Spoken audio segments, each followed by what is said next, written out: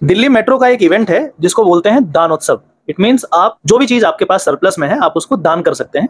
आप यदि जमा करेंगे उन तमाम चीज़ों को जो हमारे वॉल्टियर्स हैं तो वो चाहे वो ऑर्फनेज में जाएँ या फिर ओल्ड एज होम में जाएँ या स्लम्स में जाएँ वो वहाँ पे बांटे जाते हैं। जैसे यदि आपके पास कोई पुराना कपड़ा है या कोई किताब है और क्या क्या दान कर सकते हैं इसमें? जैसे टॉयज हैं बच्चों के लिए हम्म, कोई स्टेशनरी का सामान है पेन हो गए नोटबुक्स हो गए हम्म, तो आप ये सब चीज़ें आकर दान कर सकते हैं और उसके हम्म। बाद हम उन सारी चीज़ों को रिडिस्ट्रीब्यूट करेंगे। हम्म, जो भी नीडी लोग हैं जैसे ऑर्फन हो गए ओल्ड एज होम्स हो गए हम्म। तो इस प्रकार से इसका मेन मोटिव ये है। तो ये इवेंट जो है वो अभी फ़िलहाल दिल्ली में चल रहा है और अलग अलग मेट्रो स्टेशन पे ये चलाया जा रहा है और जो प्रोजेक्ट सक्षम 3.0 राइट राइट ये इसके साथ मिल करके अ, काम कर रही है और प्रोजेक्ट सक्षम प्लस दिल्ली मेट्रो राइट फ़िलहाल अभी जो ये काम जो चल रहा है वो Tis Hazari metro station Vishwavidyalaya metro station और कौन कौन सा metro station? ITO metro station Kashmiri gate GTB Nagar Azadpur and Lal Qila. Supreme court. And supreme supreme court भी आठ मेट्रो हाँ, स्टेशन तो यदि आपके पास कोई भी ऐसी ऐसा सामान है जो सरप्लस में है कोई पुराना कपड़ा है जो यूज़ में नहीं है या फिर कोई किताब है जो अब आप यूज़ नहीं करते हैं एक समय था जब आपने यूज़ किया उसे और यदि चाहते हैं कि इन सामान को या किताब को जो भी चीज़ें आपके पास है कोई और यूज़ कर ले तो ऐसे सामान को इन मेट्रो स्टेशन पे आप आकर के हमारे वॉलंटियर्स को दे सकते हैं। ये कब कब होंगे वहाँ पे अवेलेबल ये दो तारीख से लेकर आठ अक्टूबर तक रहेंगे वहाँ पर। दो अक्टूबर से आठ अक्टूबर तक ये जो भी मेट्रो स्टेशन बताए गए हैं यहाँ पे आके आप इन चीज़ों को दे सकते हैं। वैसे ये प्रोजेक्ट सक्षम क्या है? थोड़ा दो मिनट के लिए बता दो प्रोजेक्ट सक्षम एक लीगल अवेयरनेस और एक फ्री लीगल एड प्रोवाइड करने का एक प्रोजेक्ट है। जो लोग लीगल सर्विसेज़ से वंचित है हम उनकी फ्री ऑफ़ कॉस्ट सेवा करते हैं अपने एक्सपीरियंस के थ्रू और उनको हम free legal aid free legal advice provide करते हैं। मुफ़्त और कानूनी सलाह। अवेयरनेस भी मुफ़्त कानूनी सलाह राइट और ये इनके इनके साथ और कई यूनिवर्सिटी जुड़ी हैं राइट है ना? ये प्रोजेक्ट छह स्टेट्स में चल रहा है। छह स्टेट्स में चल रहा है। और अबव ट्वेंटी यूनिवर्सिटीज कोलैबोरेशन में सो बेसिकली कहने का ये मतलब हुआ कि इस प्रोजेक्ट के के द्वारा हम क्या करते हैं कि दो काम करते हैं।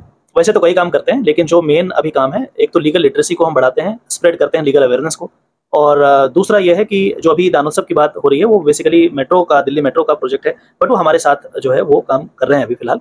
तो आपके पास कुछ भी सरप्लस में हो तो आप दो तारीख से लेकर के आठ तारीख तक आप इन मेट्रो स्टेशन पे आकर के आप हमारे वॉलेंटियर्स को वहाँ पे दे सकते हैं। और विशेष जानकारी के लिए कि सक्षम प्रोजेक्ट क्या है और पहले क्या क्या काम हुआ है, उसके बारे में भी आप उनसे जानकारी ले सकते हैं।